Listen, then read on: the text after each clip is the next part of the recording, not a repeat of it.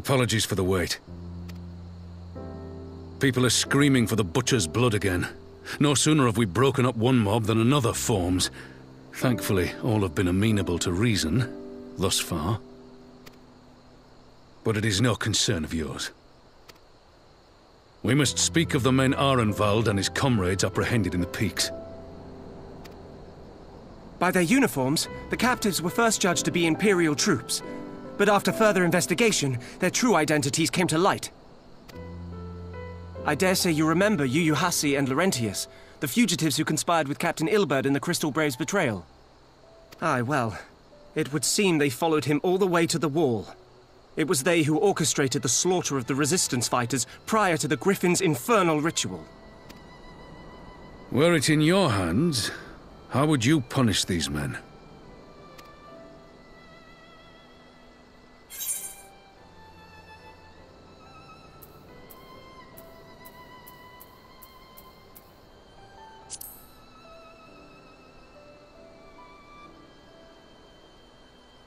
You would spare these animals?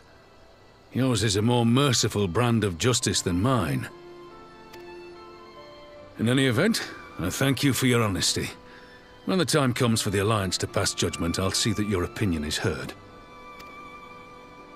Well, that concludes our business here. But there is more I would say. Walk with me.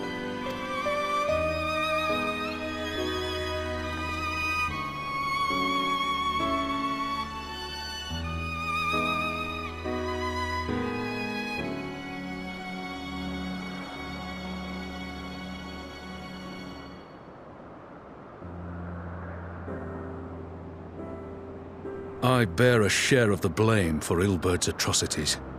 Had I openly supported the cause of Ala Mhigan liberation, he might not have felt driven to do what he did. Things could have been different, and I'm sorry they aren't.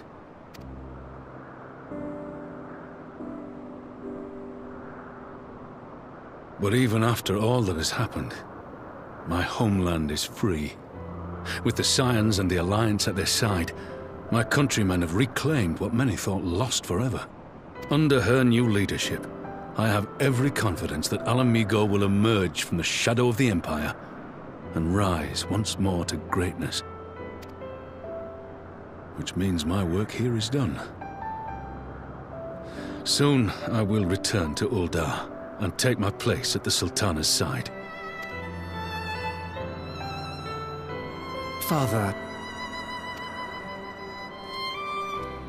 I'll not deny there's a part of me that wants to stay.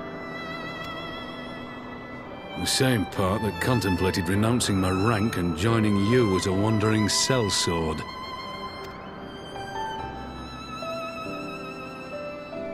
But I pledged my blade to Nanamo, and I will not betray that oath. Is this truly what you want, Father? It is. Ever has my sword been hers to command, and ever shall it remain.